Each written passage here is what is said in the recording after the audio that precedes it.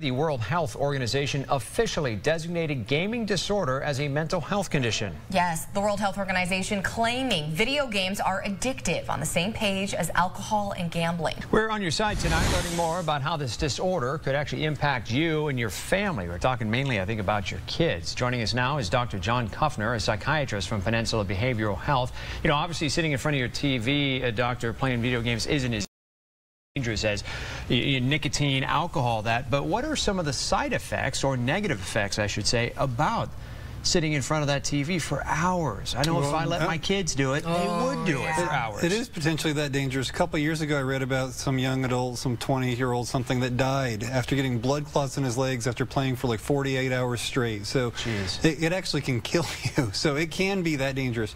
And it can be that disruptive to your life. Like it can interfere with your ability to work or maintain relationships, stay in a relationship, or to supervise your children. I've seen kids that are unsupervised because parents, young parents, are gaming. Like so, yes, it can be as disruptive as all those other things. Now, what questions can you ask yourself to see if you may be addicted to video games? So there's a difference between like an obsession and being addicted. So when we right. talk about addiction, we're talking about this has gone so far, it's interfered with everything in your life. So it somehow interferes with your ability to work or maintain relationships. Once those things are breaking down, because you're prioritizing the game, because you're having some sort of withdrawal in between playing where you have to, you can't even be present the moment because you have to get back to this other virtual world and that's where your obsession lives, then that's when it's an addiction and a problem. Well, how much responsibility falls on the parents? Because as a parent with my kids wanting to play the game, especially Fortnite, like most kids out there, I tell my son he has to stop playing. And if he doesn't, I take the controller away. I mean, again, how much of this falls on the parent to actually play a role in right. this? Almost 100%. And I have a kid that plays Fortnite too. So right. I'll tell you, I have this discussion in the office all the time. I have to tell teenagers, I see the worst fights over a parent trying to take away a phone, a game console, mm -hmm. access to a computer. And the kid says, she can't take my phone. He can't take my video game console you have to establish from the beginning, those things are owned by the parents. They're not oh, yours. Oh, yes, there's no mine. Do you tell your kids that? Oh, there's yeah. no mine. I allow you to use it, and mm -hmm. you can mm-hmm. use it as much as I allow you to use it. And when you go beyond that, I pull it back. And if you go beyond one too many times, we get it out of the house. So 100% of that has to be controlled by the parents because it's their property. It is not the kids. The kid does not have my cell phone, my game console, my game. Now, what should you do if you or your kids show signs of video gaming disorder?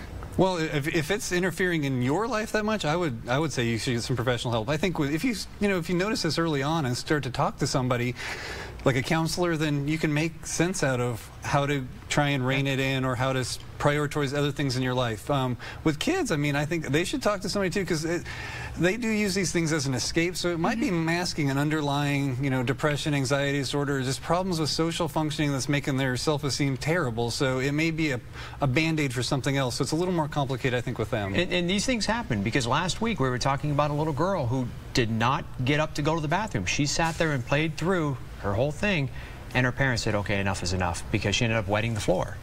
You have to be willing to get the things out of the house if it's become that much of a problem. And if the child won't respect the limits that you're setting with them. And as parents, use good judgment. Remember, they said only 3% of the people really suffer this addiction. And there are hundreds of millions of gamers out there. Yeah. So I think they are made to be addictive to keep our attention and focus and make us play as long as possible. It's up to us to use our judgment and common sense to say, when's the time to step aside? Make sure you get exercise. I mean, with kids, oh, yes. they need exercise of some sort. If they're playing a mm-hmm. sport or something, get outside, or else their behaviors are going to start to get a lot worse. So we just, it has to be balanced.